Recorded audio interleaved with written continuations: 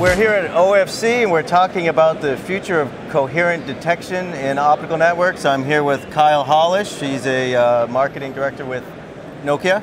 And uh, yeah, just to set the context, you know, the coherent era we've been in for quite some time. Um, if you look at the evolution of WDM networks uh, in the 1990s, kind of around the end of the 2000s, we were really hitting a, a limit in terms of channel counts and then this thing, coherent detection, came out at that point, and um, enabled a, you know a whole new round of uh, optical innovation in increasing the spectral efficiency, basically, yep. of DWDM networks. So you had WDM plus coherent. Uh, that started around 2010 with the uh, commercialization of 100G. Nokia was a big part of that. Yep. And uh, so here we are about eight years uh, on. Coherence done quite well, but um, we're kind of entering a, a new phase with this probabilistic constellation shaping, a big announcement here from Nokia.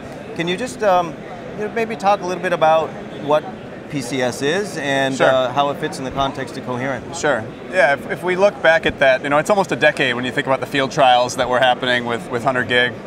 And uh, there, there's really been a continuous improvement in generations of DSPs. From that very first, you know, 100 gig single carrier, QPSK, there's been two vectors of improvement. One is just increased spectral efficiency, increased capacity with things like high order modulation uh, and, and, high baud rates, and then also increased programmability. So the first coherent interfaces basically did one rate, one reach, and so there's been there's been steady improvement, you know, throughout throughout this decade. And uh, and what PCS does is it's you know, it, it, it's really an entirely new way to map, you know, bits onto symbols onto the fiber. I, I like to say we're uh, we went from playing checkers to playing chess a little bit. It's it's, it's an additional level of sophistication, and uh, those two vectors it almost takes to their conclusion. The, the one vector being maximum capacity, because mm-hmm. PCS gets us to essentially the, the Shannon limit of spectral efficiency, regardless of what reach. Uh, and the second is that programmability vector. So uh, can we can we pick the optimal uh, balance of rate versus reach, no matter what distance we're at? So it kind of it, it's the last piece of the puzzle, really, for those two things that, mm-hmm. that we've been shooting for for the last ten years. So if you look at kind of the, the evolution of coherent over those years, this is kind of putting it into the the last phase of, of what could be done for innovation for coherent specifically? I, I, think, yeah, specifically with programmability and spectral efficiency. I, I, think coherent will continue to evolve with things like higher baud rates. Well, yeah, yeah. so, exactly. So now uh, we have carriers up to 600 gigabit per second, and that's really a function of the fact that we're now in the 60s in terms of baud rates, right? Okay. 62, 64 gigabaud. And that'll continue to increase, and, and there'll be benefits associated with that.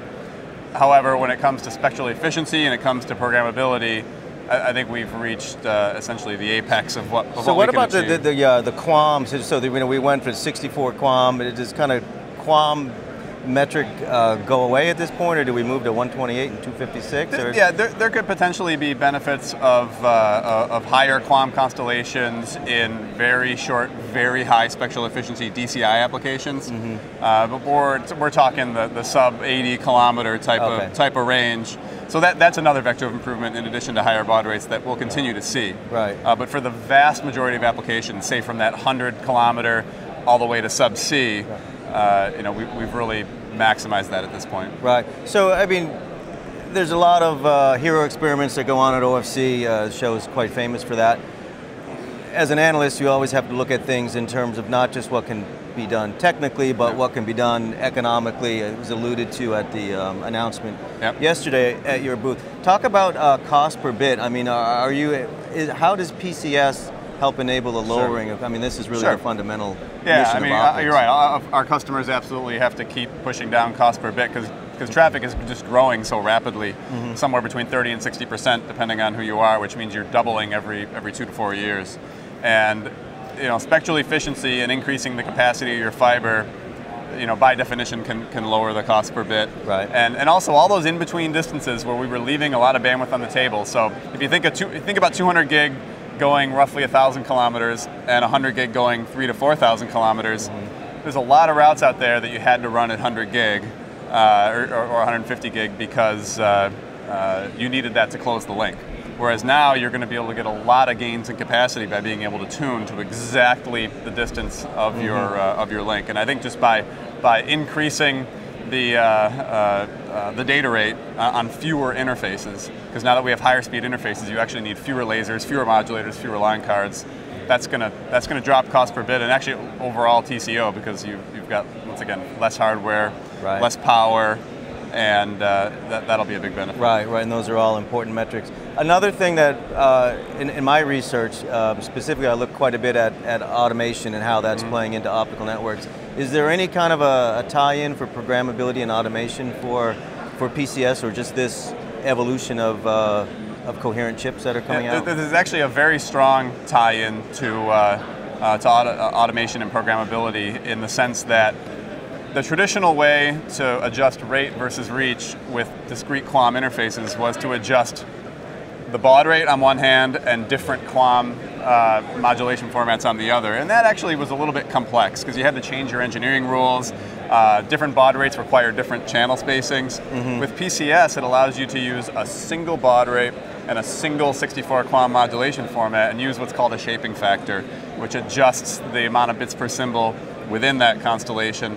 And what that does is that gives your, your infrastructure, it's very automation ready, let's put it that way. It's, it's simple, it's easy to use, it's consistent, and so whatever, whatever uh, software you're going to write on top of that to automate your network makes that job much easier. And not just the software, but the, the engineering and the planning and the operations of the network. So yeah, we see PS, PCS as a big uh, factor in that. Right, and certainly that trend is going to continue for anything in optics. It really needs to tie into programmability at, at- at Exactly. some level going forward. So it's good that this fits.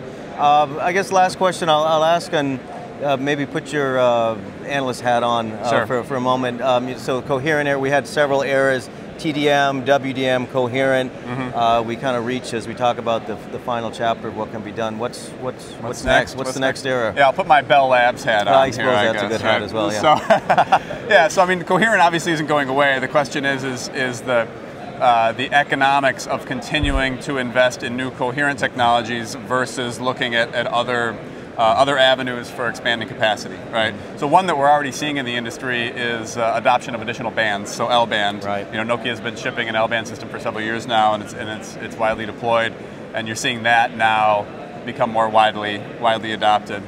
And, uh, and then even looking beyond the L band, there are other usable bands in fiber. There's the S band, which is below the C band, and so there's there's another uh, two to three, maybe four x capacity that we can get out of additional bands. And that's but that's going to take some innovation in things like silicon op- optical amplifiers, uh, and then looking beyond that to even greater than a three or four x improvement is uh, spatial division multiplexing, and that's an area of active research uh, here at OFC and, and at Bell Labs. Whether it's multiple modes within a single single mode fiber, whether it's multi-core fibers, uh, I think that'll be really the, the next the next frontier. Sounds like there's a lot of life left in, in optical fibers, which is There is. We'll be we'll us. be busy here at OFC for the next decade. All right, all right. Look forward to it. Good talking to you today, Kyle. All right. Thanks. Good to talk to you, Sterling. Bye.